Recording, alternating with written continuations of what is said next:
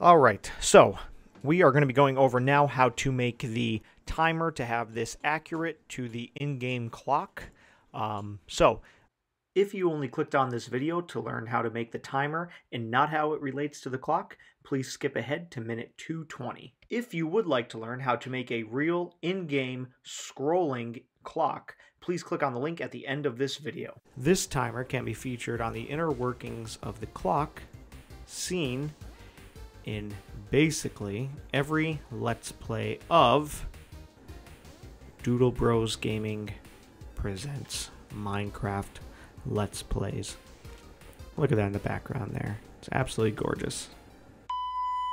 These are set up so they're automatic. As soon as a block goes in front of it, it pushes it. And again, remember, this is the front of the clock here. The back left one is how I have it set up. So instead of having it automatic like that, you're going to have it set up that whenever it receives a pulse uh, from the redstone, it is going to activate. So you're going to have the redstone there, but underneath, you're going to set up just like this, and then one more underneath one, two. You're going to put one like this, and you see when you place one here, it turns off that one right there. And then just have it just like that.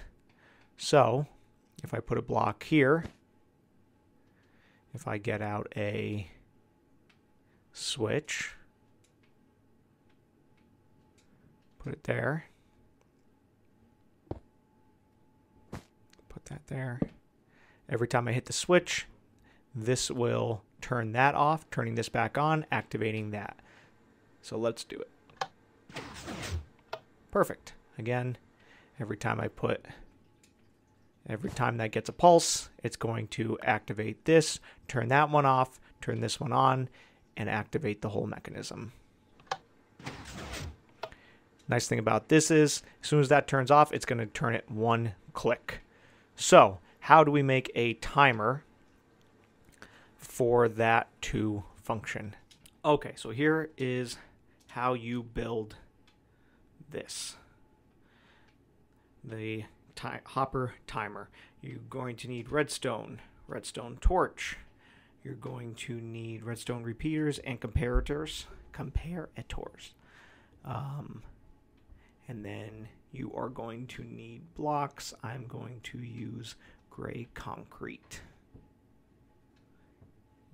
Yes. Okay. Oh, you also need hoppers, obviously. It is literally in the name of what you're going to need. Okay, so for hoppers, um, you're going to have two facing one another. So we'll just place down one, and then you have to, I'm flying, you have to crouch. And then you see once you crouch, you got the one hopper leading into the other. You get rid of this one.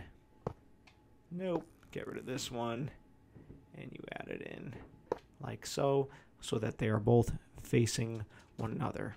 Now going to go to a flying aerial view here. Okay, so you're going to place four blocks. You skip one space here, skip one space here. You put one here, up and over here. Okay. You're going to take your redstone repeaters. And you're going to have one going this direction into that gray block, one going this direction to that gray block, one going this direction, like so. Redstone torch. You're going to have one here, one here, one here, and one here. This redstone do one, two, three, four. Spin one. Redstone repeater. One, two. Gonna have redstone going into that. And then up this way here. And then connect those like so. Then you're going to have comparators going this direction and this direction. Good. Okay. So, once that is done, take one of the hoppers, put in the blocks. As you see, it starts emptying. Once that switches, it's going to give a dose, a pulsed dose. That lights up one side, like so. It's in the other one. It's going to start emptying. And when this one empties completely, it's going to give a pulse dose this way. In three, two, one. Beautiful. And then what you'll have is this running off and connecting to here underneath. So that every time that gives a pulse dose, it turns that off, turns this on, and pushes the block. That'll be there. Let's go see that on the actual clock. We have our nice clock here. Oh, look at the little turtle. We have it set up. Same exact clock we just built and everything's connected right to here. When that hits that, turns that off, turns that on, and you have that right there. Let's see where we're at.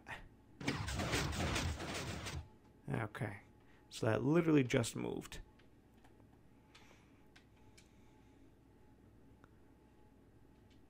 Okay.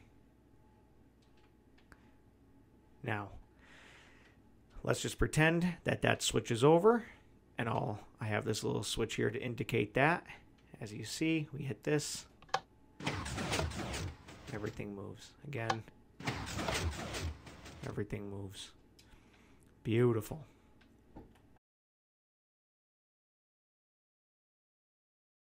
All right, how many items do we need in our hopper to keep accurate time?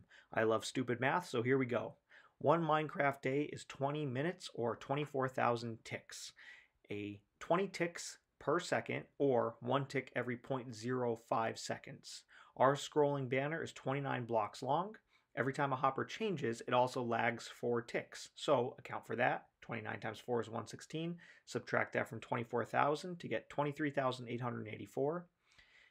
You divide that by 29 blocks and you get 823.596 ticks per block. You divide that by 20 ticks and you get 41.1798 seconds. A hopper transfers 2.5 items per second. So you divide or you multiply 41 times 2.5 and you get 102.949 items. Basically 103 items needed. So I have my my hopper timer here uh, set with 103 or I'm sorry 100 and, yeah 103 blocks. Um, I have this set to noon, and I have a lever here powering this hopper so it does not empty. Um, I did not connect this yet. I'm going to do that after. Um, and what you would do in survival mode is just wait for it to become noon. What I'm doing, because I'm in creative mode, is turning this back to daylight cycle. And as soon as it hits noon, I'm going to, and I got my clock on the right there, as soon as it hits noon, I'm going to flip the lever and then I'm going to go over and connect the redstone.